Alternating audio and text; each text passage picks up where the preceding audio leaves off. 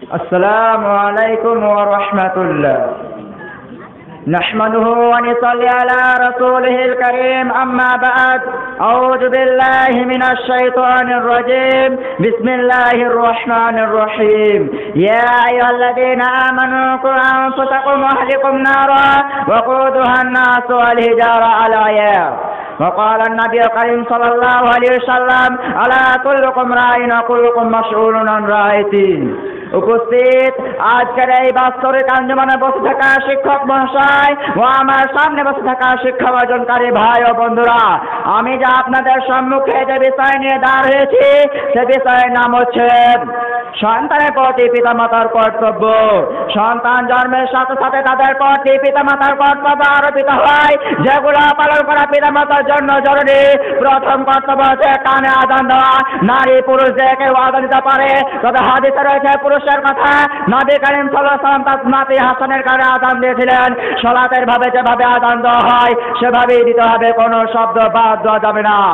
عن ابن ابي رافع قال رايت رسول الله صلى الله عليه وسلم اذن في اذن الحسن بن هنا ولا فاطمه بالصلاه আবু রাফি রাদিয়াল্লাহু আনহু তাআলা থেকে বর্ণিত তিনি বলেন যে ফাতিমা রাদিয়াল্লাহু আনহা যখন হাসান ইবনে আলী আলী রাদিয়াল্লাহু আনহুকে যখন প্রসব করলেন অর্থাৎ জন্ম দিলেন তখন আমি রাসূল সাল্লামকে তার কানে সালাতের আজানের মতো আজান দিতে দেখলাম যে নবজাত শিশুর জন্য তাহানি করা বর্ণিত তিনি কাছে নবজাত শিশুকে নিয়ে আসা হতো।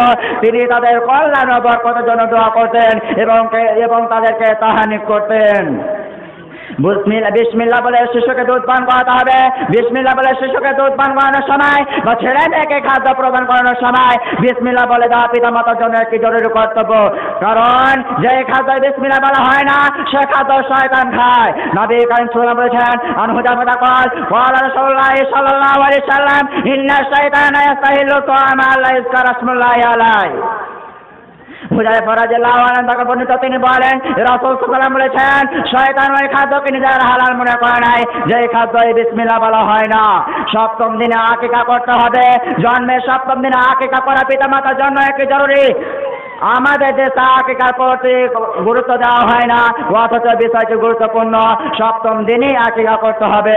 নবী কারিম সাল্লাল্লাহু সাল্লাম বলেছেন আনসামরাতা কল ওয়ালা রাসূলুল্লাহ সাল্লাল্লাহু আলাইহি সাল্লাম আল গোলাম মুরতাহানুন বিআকিকাতিহি। সম্রাইম ইবনে জুনদুবাতে বর্ণিত তিনি বলেন যে, রাসূল সাল্লাল্লাহু বলেছেন, সপ্তম শিশু তার আকিকার সাথে অবদ্ধ রাখে। তুজবাহানু ইয়া মাসাবেন সপ্তম দিনে তার জন্ম থেকে সপ্তম দিনে তার জন্ম পক্ষ থেকে জবাই করতে হবে। ওই সম্মা এবং সুন্দর দেখে নাম রাখতে হবে। ওই হুড়া করে আসাও এবং তার মাথা কামাতে হতে হবে।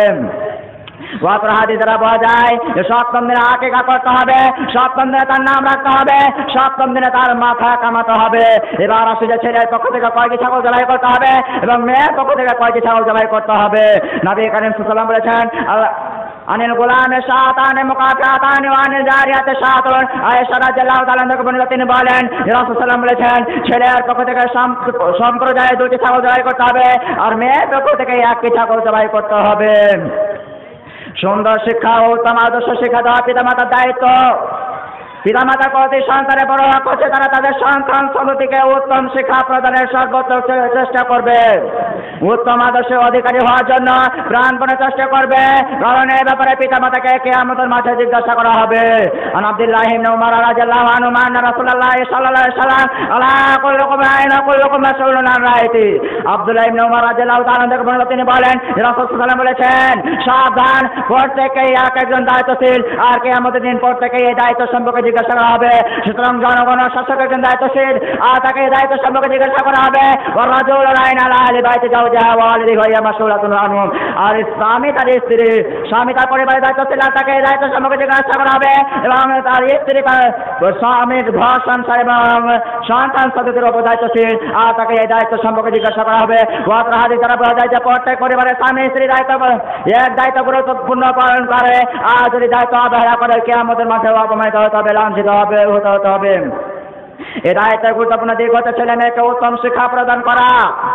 আনাবি রাদিয়াল্লাহু তাআলা আনহু قال قال رسول الله صلى الله عليه وسلم ما من مولد يولد على الفطرة فأباه يهبدانه وينصرانه ويمدسانه আবু হুরায়রা রাদিয়াল্লাহু তাআলা আনহু বলেন রাসূল সাল্লাল্লাহু আলাইহি বলেছেন প্রত্যেকটা সন্তান ইসলামে জন্মগ্রহণ করে কিন্তু তার পিতামাতার কারণে ইহুদি হয়ে যায় খ্রিস্টান হয়ে যায় অথবা আগুন পূজারি করে করে তুলে অবশ্য সালোর কাছে চাই হে আল্লাহ তুমি আমাদের সকল মুসলমান ভাইকে আমাদের সন্তান পদ্ধতিকে আদর্শবান করে গড়ে তোলা তৌফিক দান করেন আল্লাহ আমিন আসসালামু আলাইকুম রহমতুল্লাহ